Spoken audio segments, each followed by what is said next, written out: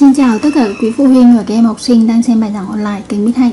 Hôm nay thì cô và các em chúng ta sẽ cùng đi vào các bài tập ở trong sách bài tập của bài 2 là sự truyền ánh sáng. Chúng ta có bài 2.1 tại một điểm C này. Tại một điểm C trong một hộp kín có đặt một bóng đèn, như vậy C chính là vị trí bóng đèn. Và cái bóng đèn này đang sáng. Một người đặt mắt ở cái gần cái lỗ A này người đó có nhìn thấy uh, bóng đèn hay không? Vì sao? Uh, muốn người này muốn nhìn thấy được bóng đèn thì phải có ánh sáng từ bóng đèn truyền tới mắt đúng không ạ? Nhưng mà ánh sáng từ bóng đèn này nó truyền qua lỗ A này. Đây nếu mà nó truyền qua lỗ A thì nó không đi vào mắt. Đây các em có thể lấy bút chỉ các em nối. Đây nha đây thì nó đi thẳng lên phía trên này thì lúc này, không đi vào mắt thì người này nó sẽ không thể nhìn thấy được bóng đèn. Đúng không? Đấy em có thể vẽ xuống dịch dịch phía dưới một chút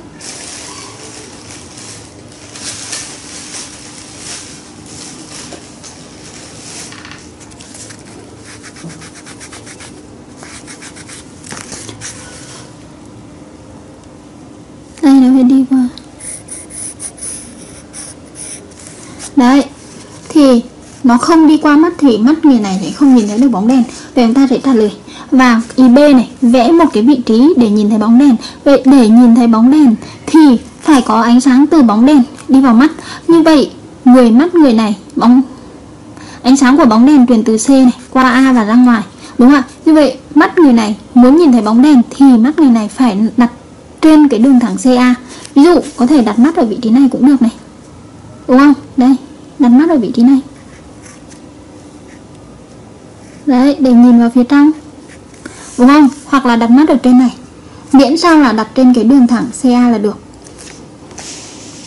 Trên đường thẳng CA bây giờ chúng ta sẽ có kem dùng, kem vẽ cái dài này nhé 2.1 câu A, kem sẽ trả lời là người đó không nhìn thấy bóng đèn. Câu A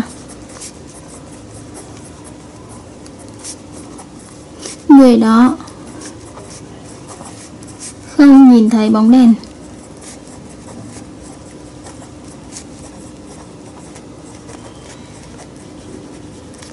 Vì sao? Vì này, ánh sáng từ bóng đèn này truyền qua cái lỗ nhỏ A để đi ra ngoài. Ánh sáng từ bóng đèn.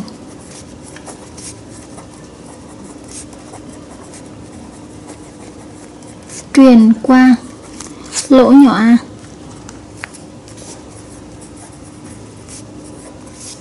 Tức là nó sẽ truyền theo cái đường là đường CA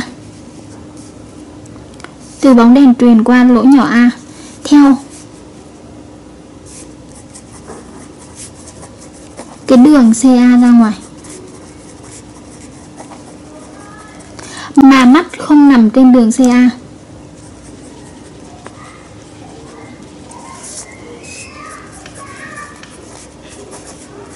không nằm trên cái đường CA nên suy ra không có ánh sáng trực tiếp từ bóng đèn truyền vào mắt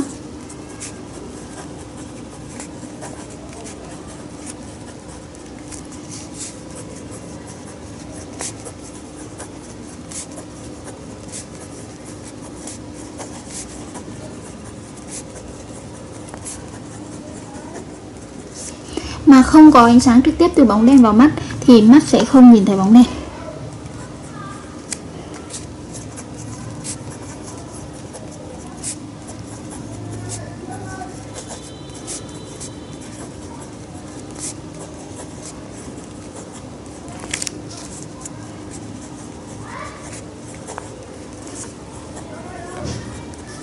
không nhìn thấy bóng đèn như vậy là chúng ta đã vừa hoàn thành xong được cái ý A. Ý B. Vậy muốn à, để mắt nhìn thấy bóng đèn thì mắt phải nằm trên cái đường thẳng CA Đúng không ạ? để mắt nhìn thấy bóng đèn.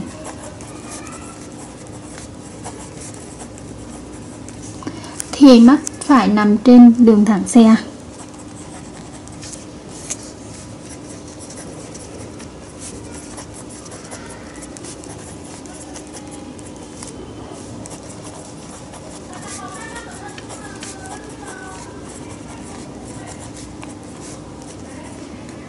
trên đường thẳng xe.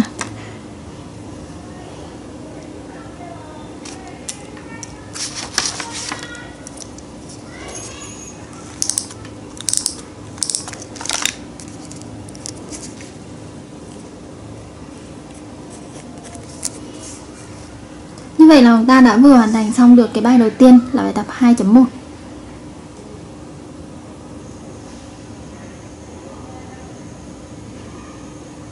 Tiếp theo cô và các em sẽ chuyển sang bài tập 2.2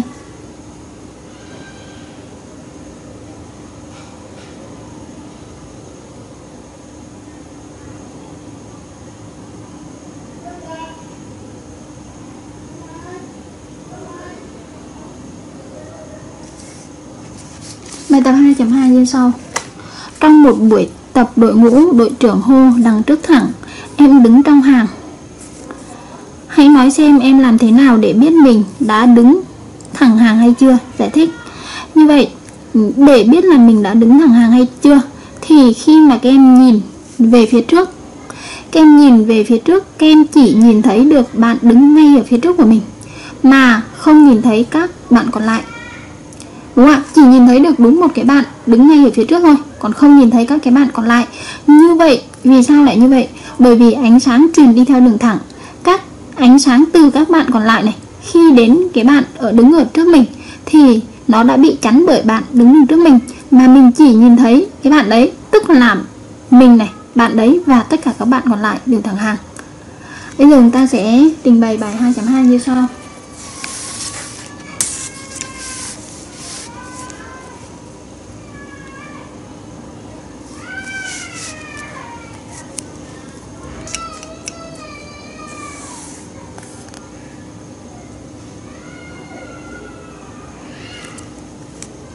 Hai chấm hai.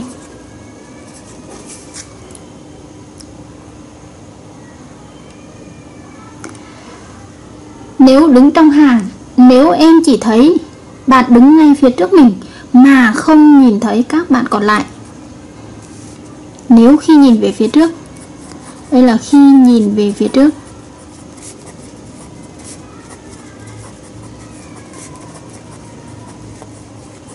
Mà em chỉ thấy bạn đứng ngay trước mình.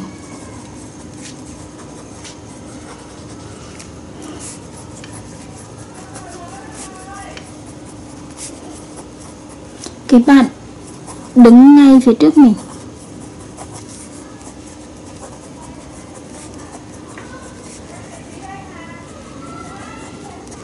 Phía trước mình, Mà không thấy các bạn còn lại.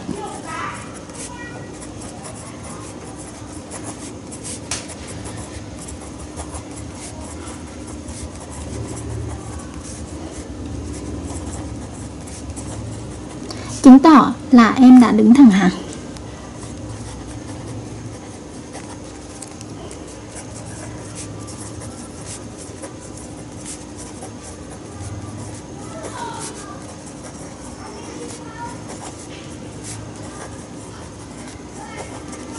chứng tỏ em đã đứng thẳng hàng cái này chúng ta sẽ giải thích là dựa vào định luật truyền thẳng của ánh sáng.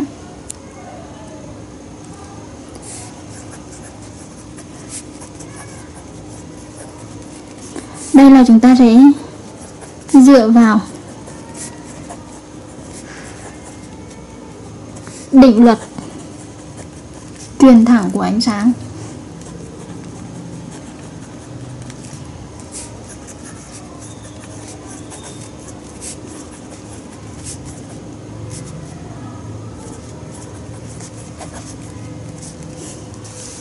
Vì ánh sáng ánh sáng truyền từ các bạn đến mắt của chúng ta là theo đường thẳng.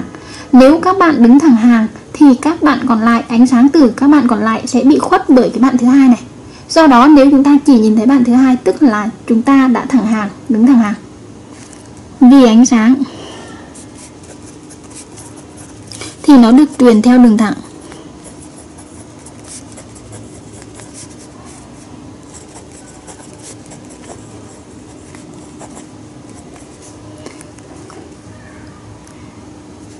các bạn còn lại, khi truyền ánh sáng tới mắt ta, thì nó đã bị cái bạn thứ hai này che khuất. Ánh sáng từ các bạn còn lại.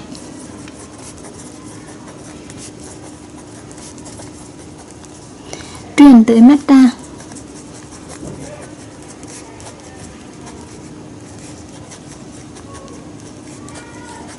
Thì đã bị cái bạn đứng ngay phía trước chúng ta che khuất.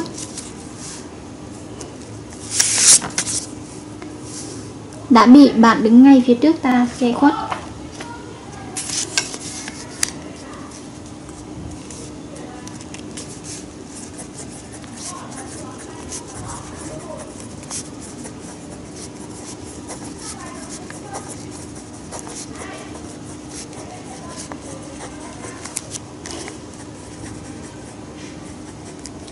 Che khuất. Do đó, nếu như mà chỉ nhìn thấy cái bạn đứng ngay phía trước ta chứng tỏ là chúng ta đã đứng thẳng hàng.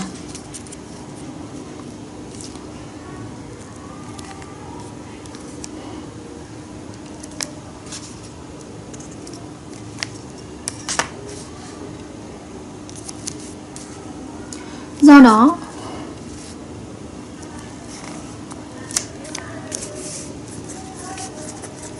nếu chỉ thấy bạn đứng trước ta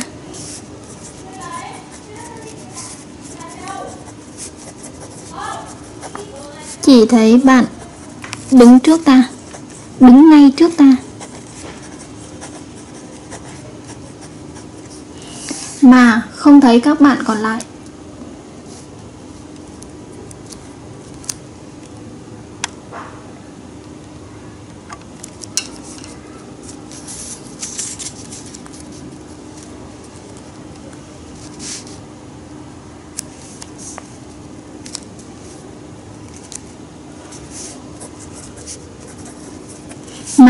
Với các bạn còn lại.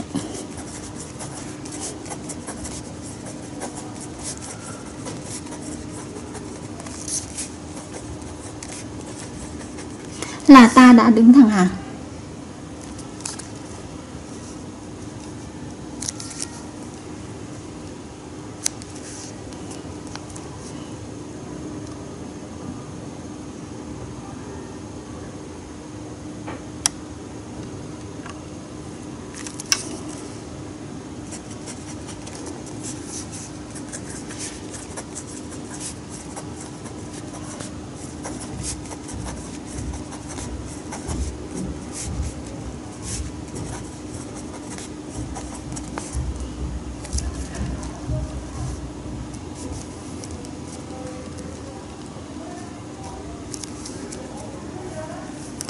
Như vậy là trên đây là cô và các em đã vừa hoàn thành xong được bài tập 2.2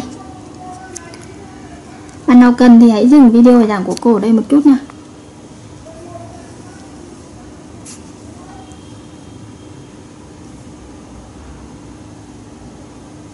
Tiếp theo, cô và các em sẽ sang bài 2.3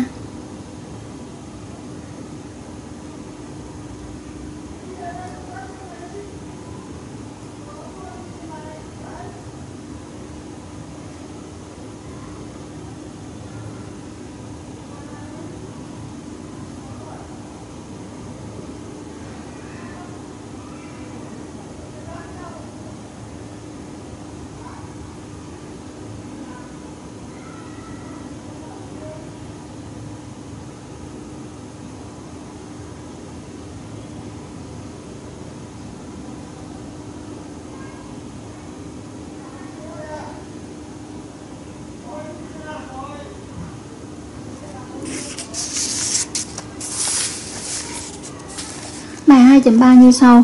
Các em vẽ sơ đồ bố trí thí nghiệm, khác thí nghiệm trong sách giáo khoa. Để kiểm tra xem ánh sáng từ một cái đèn pin được bật sáng, phát ra. Có truyền đi theo đường thẳng hay không? Mô tả cách làm như vậy, ở trong sách giáo khoa thì người ta đã làm theo cái phương pháp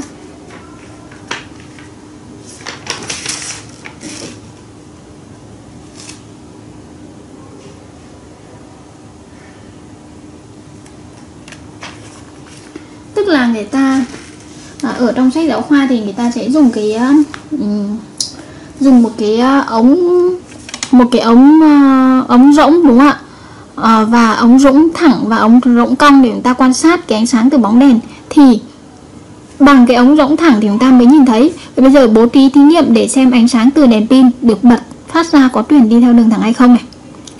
Thì bây giờ các em sẽ dùng à, các em sẽ dùng cho cô một cái đèn pin đúng nào. Xong đấy các em sẽ dùng cho cô một cái tờ giấy. Giả sử một cái tờ giấy. À, như thế này. Các em đục một cái lỗ rất là nhỏ ở trong cái tờ giấy này trên cái tờ giấy này. Đúng nào. Các em đục một cái lỗ nhỏ xong rồi các em bấm cái đèn. Ví dụ như chúng ta đục một cái lỗ lỗ nhỏ ngay ở phía giữa của cái uh, tấm bìa này. Xong rồi chúng ta bấm cái đèn pin đi qua cái lỗ nhỏ đấy. Bấm đèn pin vào. Ở phía bên kia ở phía cái bên mà uh, có cái ánh sáng nó truyền qua ấy thì các em sẽ hứng bằng một cái màn chắn đúng không ạ? Các em lấy một cái tấm bìa màu đen để các em hứng. Các em hứng sao cho à, cái tia sáng truyền qua nó hiện ở trên cái cái màn chắn này. Ví dụ nhá ví dụ ở đây cô đục một cái lỗ ở đây này. Cô bật đèn pin từ phía bên cái phía bên trang sách này. Cô để cái đèn pin cô bấm xung qua cái lỗ này. Qua cái lỗ này xong rồi phía bên này cô đặt một cái màn chắn như này. Cái màn chắn này màu đen. Các em tưởng tượng ra chưa? Thế là cái ánh sáng đặt sao cho cái ánh sáng mà, nó xuyên qua cái lỗ này thì nó chạy, nó trải dài ở trên cái cái màn chắn này. Vậy khi đấy các em nhìn thấy ở trên cái màn chắn này nó xuất hiện một cái đường thẳng, tức là ánh sáng nó đang truyền đi theo đường thẳng. Vậy chúng ta sẽ có như sau 2.3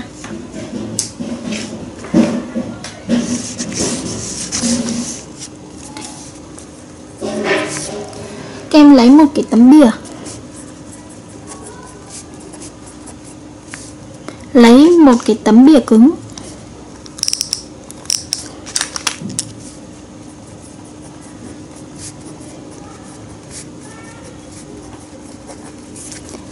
tấm cứng.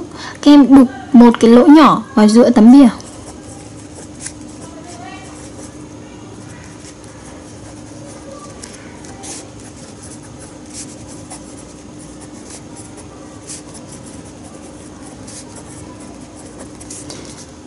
Rồi, kem dùng đèn pin.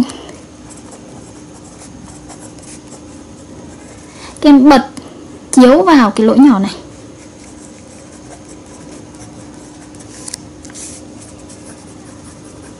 chiếu sao cho ánh sáng xuyên qua lỗ nhỏ này?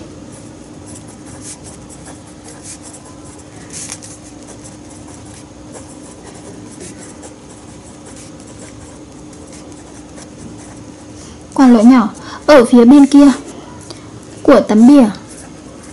Tức là ở cái phía mà ánh sáng nó xuyên qua ấy. bên kia của tấm bìa. Các em sẽ à, lấy một cái tấm bìa đen chẳng hạn.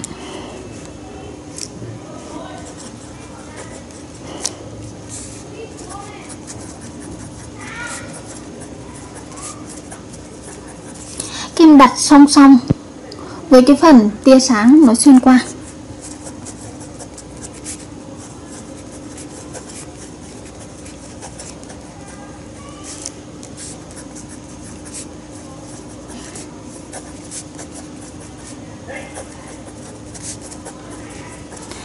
Sao cho toàn bộ cái tia sáng hóa xuyên qua thì nó được trải ở trên cái tấm bìa màu đen này.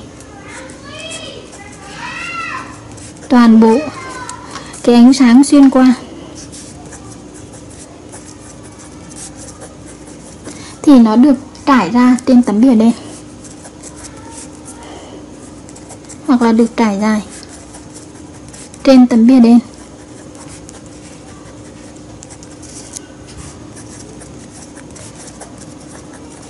Khi nhìn vào thì ta thấy là cái ánh sáng đó chính là một đường thẳng.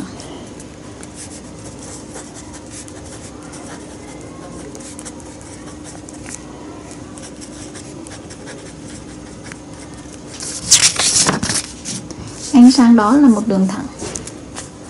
Dạng của ánh sáng là một đường thẳng.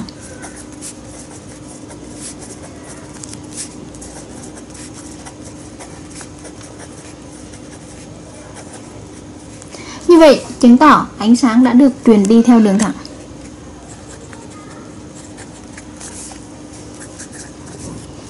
Chứng tỏ ánh sáng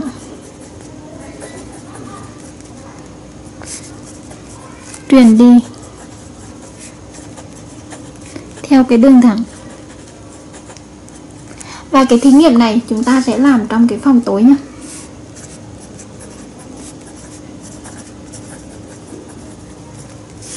ta sẽ làm trong phòng tối. Thì chúng ta sẽ quan sát nó dễ hơn.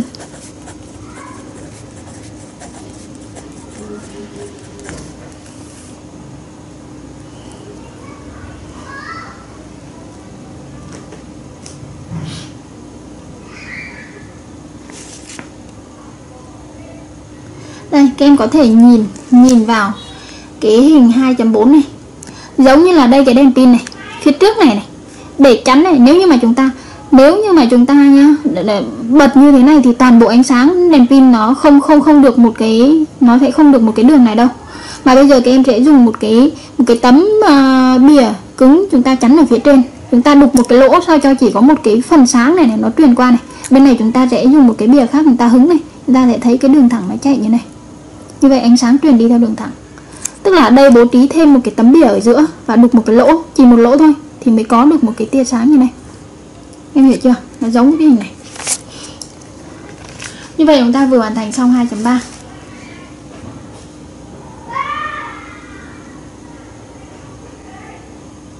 Tiếp theo, cô và các em sẽ sang bài 2.4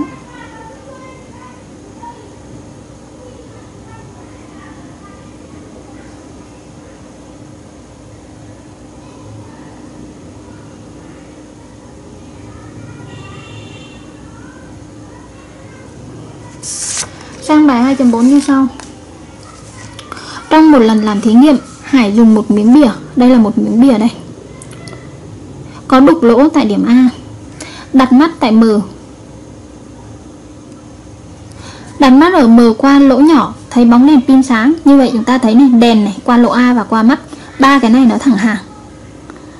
Đúng không ạ? Hải nói rằng ánh sáng à, đi theo đường thẳng từ đèn này qua A này, qua A, đến mắt. Bình lại nói là ánh sáng đi từ đèn này, qua B này, qua A này, qua C rồi đến mắt. Tức là bạn Hải thì nói ánh sáng nó truyền theo đường thẳng như này, còn bạn Bình thì lại nói ánh sáng nó vòng vòng như này. Đây, nó truyền như này, xuống đây rồi lại lên đây. Đúng không ạ? Hãy bố trí thí nghiệm để kiểm tra xem ai nói đúng, ai nói sai. Như vậy, muốn xem, chúng ta sẽ khẳng định luôn là bạn Hải ở đây là nói đúng, bạn Bình là nói sai à, và chúng ta bố trí thí nghiệm như sau. Bây giờ các em lấy cho cô một cái tấm bìa nữa. Cái tấm bìa nữa em đặt ở ngay ở phía trước này. Đặt ngay phía trước tấm bìa này. Đấy và các em đục một cái lỗ tại vị trí B. Đây là vị trí B. Đúng không ạ? Các em lấy một cái tấm bìa các em đục lỗ ở đây. Còn phía dưới này không đục. Thì lúc này mắt của chúng ta sẽ không nhìn thấy được ánh sáng từ đèn. Bởi vì nhá muốn nhìn thấy được thì ánh sáng nó phải từ đèn đi từ B đi thẳng lên cơ. Mắt phải nằm ở phía trên này đây còn bây giờ nhá. Hoặc là các em đưa một tấm bìa. Đến ở, đặt ở vị trí C. Đặt một tấm bìa. Đây, song song với tấm bìa A. Và chúng ta trên cái tấm bìa này chúng ta sẽ đục một lỗ ở C chẳng hạn. Hoặc là đặt ở B, hoặc là đặt ở C. Nếu như mà đục ở B và đục ở C mà chúng ta vẫn nhìn được thấy bóng đèn, thì chứng tỏ là ánh sáng nó sẽ đi từ đèn này đến B này, qua C rồi đến mắt. Còn nếu chúng ta không nhìn thấy, thì chứng tỏ là cái bạn này bạn nói sai phải không nào? Vậy cách làm ta như sau.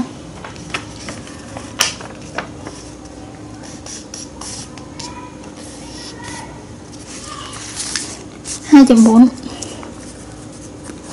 Kem sẽ lấy thêm cho cô, lấy chỉ cần lấy một, thêm một tấm bìa thôi. Lấy thêm một tấm bìa. Đặt vào giữa vị trí giữa đèn và cái tấm bìa A. đặt vào giữa đèn và tấm bìa a.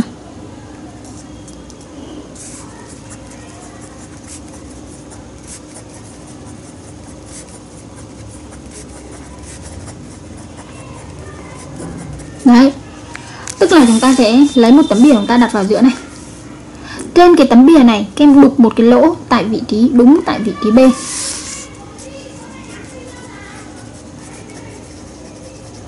trên tấm bìa này.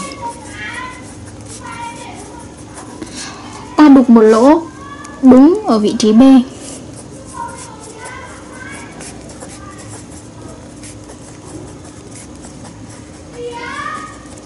Đúng vị trí B. Nếu nếu nếu như mà mắt của chúng ta vẫn nhìn thấy ánh sáng từ đèn và lúc này thì lúc này thì chắc chắn là chúng ta không thể nhìn thấy nữa. Đấy là nếu thôi. Còn trên thực tế thì chúng ta sẽ không nhìn thấy được ánh sáng từ đèn đi đến mắt. Quan sát. Thì ta không còn thấy cái ánh sáng từ đèn đến mắt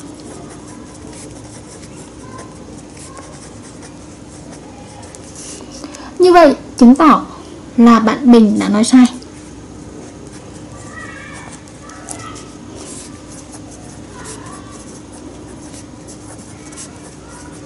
Hải đã đúng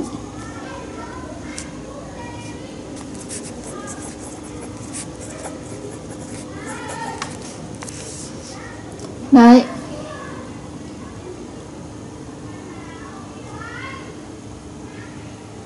Bạn nào cần thì có thể dừng video giảng của cô đấy một chút nhé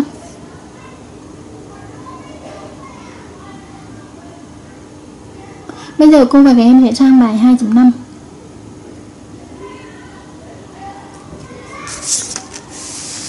2.5 Trong hình 3.2 ở đây. Ánh sáng vẽ đường truyền đúng từ không khí đi vào nước. Không khí đi vào nước.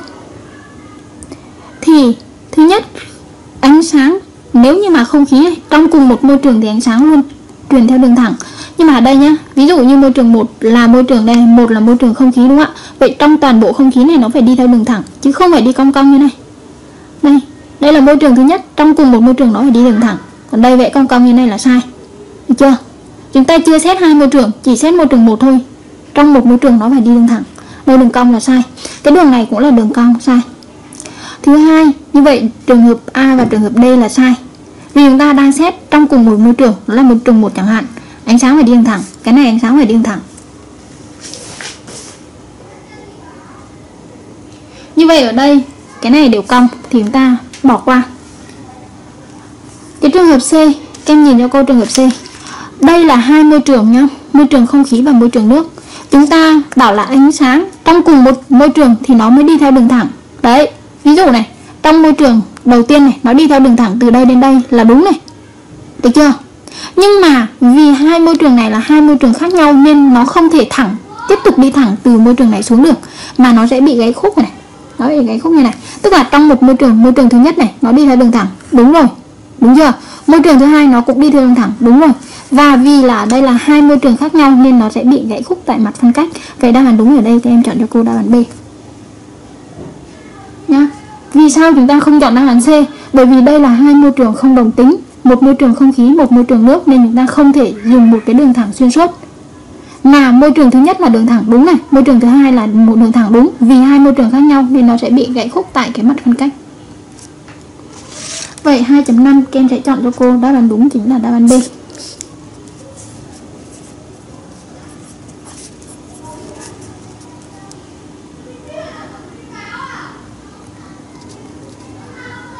trong vì trong cùng một môi trường thì ánh sáng đi theo đường thẳng nhưng mà hai môi trường khác nhau thì ánh sáng nó sẽ bị à, gãy khúc tại mặt phân cách.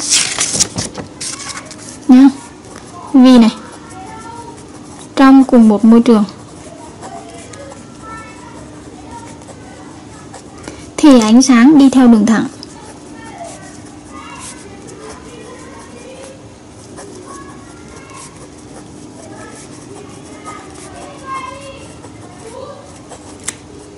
nhưng hai môi trường khác nhau thì ánh sáng nó sẽ bị uh, gãy khúc tại mặt phân cách. Nhưng nhưng trong hai à nhưng mà ở đây là hai môi trường thì nó sẽ bị gãy khúc tại mặt phân cách. Nhưng hai môi trường khác nhau.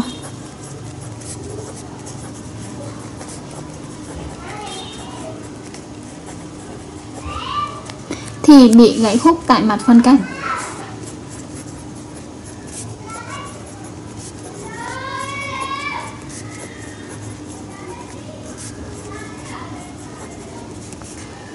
Do vậy nên là chúng ta à, mới chọn cái đáp án đúng chính là đáp án B. Ken khoanh vào đáp án đúng chính là đáp án B. Trên đây là cô và các em đã vừa đi được một số các cái bài tập cụ thể là từ bài 2.1 đến 2 bài, bài hết bài 2.5 ở trong sách bài tập của bài 2 là sự truyền ánh sáng. Các em hãy về làm nốt cho cô các bài tập còn lại nhé. Cô sẽ à, tiếp tục ra video tiếp theo để hướng dẫn các em nốt bài tập còn lại. Cảm ơn các em đã dành thời gian theo dõi video bài giảng của cô. Hẹn gặp lại các em ở các bài học tiếp theo.